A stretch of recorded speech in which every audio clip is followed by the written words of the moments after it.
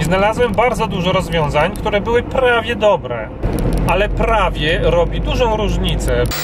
Zastanów się, człowieku, który masz firmę, jakie potrzeby mają twoi klienci i później spełnij te potrzeby.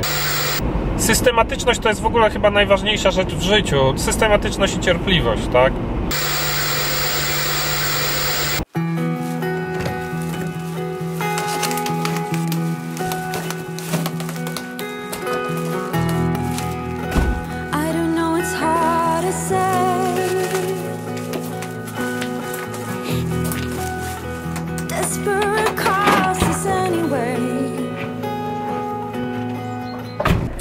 Aplikacjami mobilnymi to jest trochę tak jak z aparatami fotograficznymi.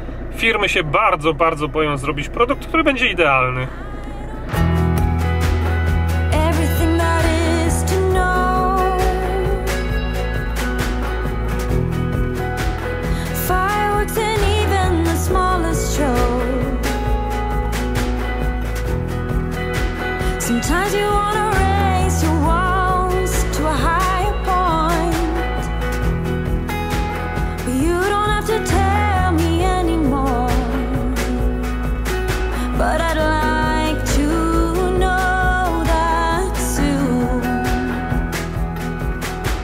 No więc o co mi chodzi z tymi aplikacjami? No o co? Dlaczego Jerzy zaczynasz poniedziałek od marudzenia?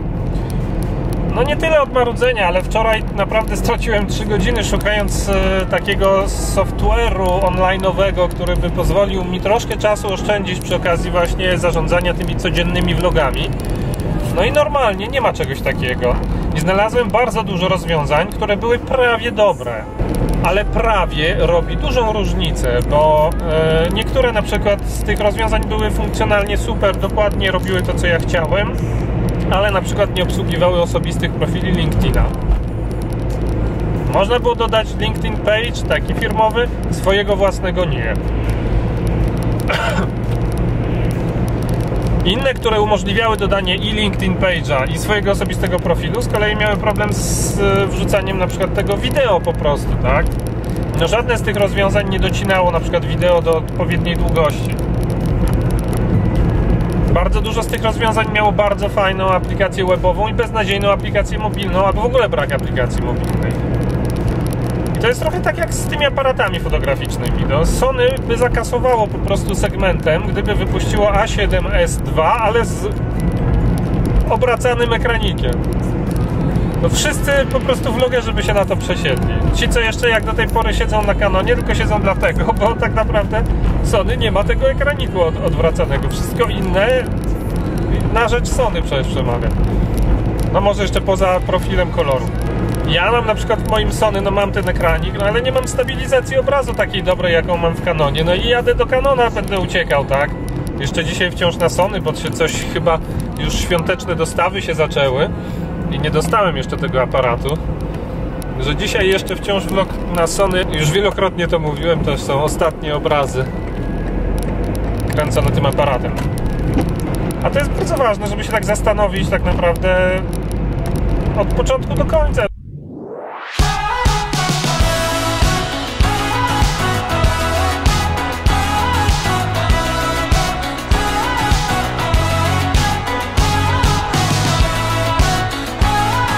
To jest to, przeciwko czemu ja na tym vlogu walczę. To takie mówienie done is better than perfect. Właśnie nie done is better than perfect, tylko zastanów się człowieku, który masz firmę, jakie potrzeby mają twoi klienci i później spełnij te potrzeby, a nie spełnij 90% tych potrzeb, bo jak spełnisz tylko 90%, to 10% nie spełnisz. I ludzie będą pamiętali te 10%. Także działaj i dbaj o jakość. Jak już robisz ten software online'owy do zarządzania social mediami, to tam powinny być powiadomienia z tych social mediów. Wszystkich, nie tylko Facebooka i Twittera, ale z YouTube'a też. Komentarzy. Stream komentarzy powinien być. Powinna być możliwość uploadowania wideo tam, gdzie się da i w taki sposób, żeby nie trzeba było oglądać jakieś komunikaty, errory i inne takie, tylko żeby po prostu to działało samo I aplikacja mobilna powinna być na poziomie i powinna pozwalać robić to wszystko, co robi aplikacja online'owa. Proste. No jak widać nie takie proste.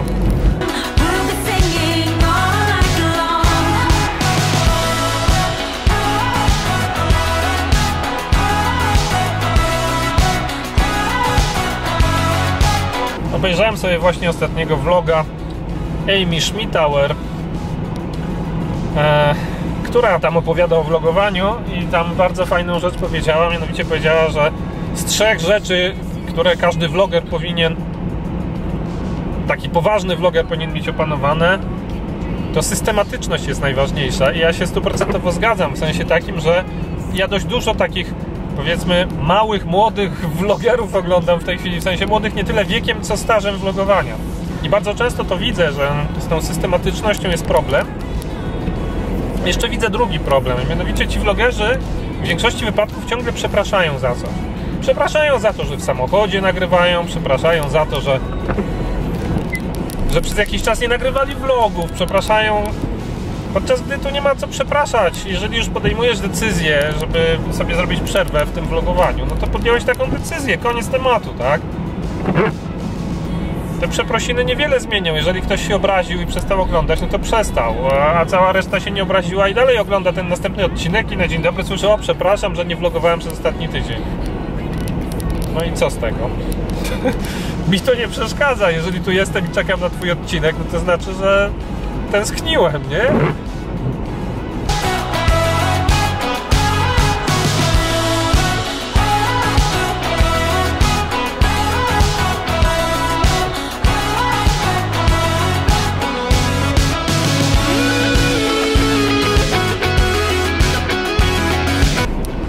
Ale to prawda, że taka właśnie systematyczność to jest w ogóle chyba najważniejsza rzecz w życiu. Systematyczność i cierpliwość, tak?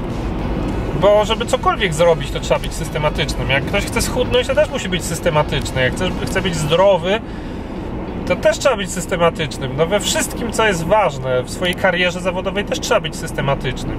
Jeżeli systematycznie nie dbasz o swój wizerunek, to choćbyś nie wiem, jakimi się zajmował projektami w ogóle czym, no to to tej kariery nie zrobisz. Jeżeli systematycznie nie spotykasz się z ludźmi ze swojej branży, to kariery nie zrobisz. No. Systematyczność wszędzie.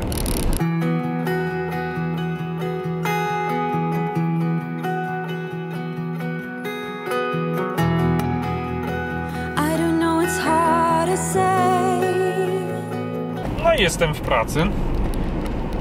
Także życzę Ci miłego i produktywnego dnia. Mój będzie produktywny, bo w Todoistie 20 tasków. Kurde, to za dużo, o 16.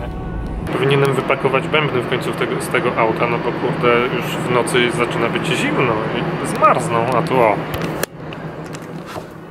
Proszę bardzo. Po ostatniej próbie bębny w samochodzie.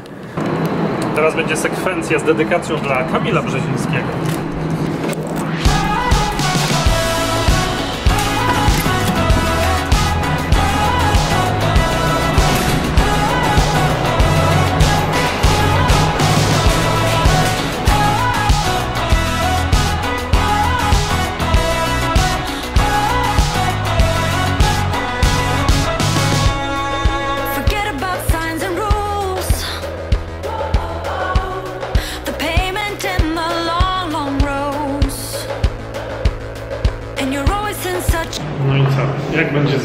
Ciemności? Jak będzie z dźwiękiem? Jak będzie ze stabilizacją?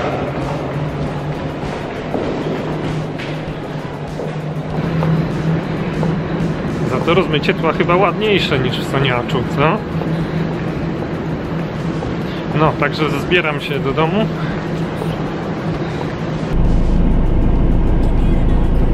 Stabilizacji to ty masz aparacie niezłą. No i widzisz w ciemności. Na drogę migdałki. O. Tarara, ciekawe jak mikrofonie sobie poradzisz. Ale i tak jest duży plus jeśli chodzi o Sony. Bo tutaj o w tym miejscu, o tu jest kontrolka rekordu, więc więc deadcat mnie nie zasłania tej ikonki wiem kiedy się nagrywa, a w Soniaczu nigdy nie wiedziałem. I ciemność się stała, proszę Państwa. O. Taka zupełna ciemność. Jak sobie aparacie poradzić z tą ciemnością? Może filtr ND powinienem wyłączyć? Spróbujmy. Bo filtr ND sobie zrobiłem tutaj na skrócie.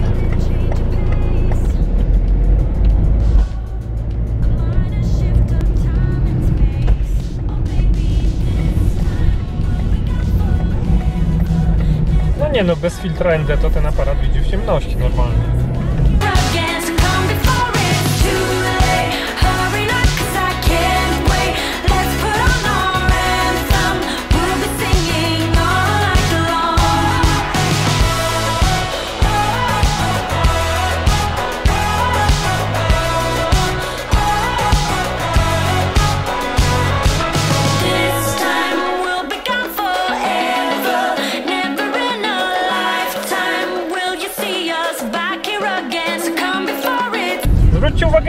XXI wiek. Tyle rzeczy można z komputerem zrobić. Właściwie można prowadzić firmę w komputerze. Można nie mieć nic, żadnego asetu, tylko i wyłącznie ten komputer i dobry pomysł. A jednak. A jednak nie można zmienić nazwy kanału na YouTubie. Ja to próbowałem ostatnio zrobić, bo zmieniłem domenę. Przestałem publikować swoje rzeczy w domenie rajków.pl. Zacząłem publikować w domenie jerzy.blog. No i chciałem zmienić nazwę mojego kanału na YouTubie, nie dało się. Musiałem zmienić na Jerzy Rajkow Krzywicki, bo na jerzy.blog się po prostu nie chciało dać zmienić. Jakieś tam obostrzenia, regulaminy, coś tam. Podobną sytuację miałem z Facebookiem. Wpisałem request, że chcę zmienić nazwę fanpage'a mojego. Tam 6000 osób jest, nie, więc no, nie chciałem nowego zakładać. A tu nie możesz, bo to byłoby mylące. Ale że co, zmiana domeny byłaby myląca? Tak. No to jest strasznie słabe, bo takie zakładanie przez właścicieli tych platform, że ktoś rozpocznie jakąś działalność i później w tej działalności będzie tkwił niezmiennie przez lata i mu się nie przydarzy mu się zmiana nazwy, ani nie przydarzy mu się być może nawet zmiana biznesu, w sensie zmiana tego, czym się ta firma będzie zajmowała, to to jest strasznie naiwne. No przecież życie jest różne. Kilka lat to w tej chwili to jest czas, który może w ogóle zmienić świat. Także mam nadzieję, że właściciele tych platform, tych social mediów wszystkich zrozumieją dosyć szybko, że człowiek zmienną istotą jest i że warto byłoby mu dać możliwość właśnie zmiany nazwy, generalnie zmiany. Człowiek lubi zmieniać.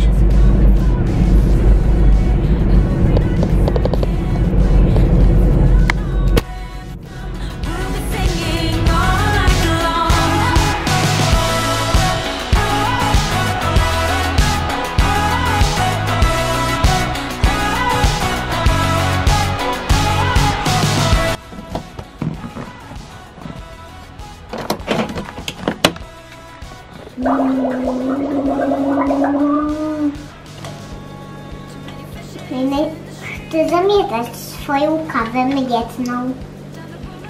Dostałem koszulkę od Kubickiego. To teraz będę rządził na dzielnicy.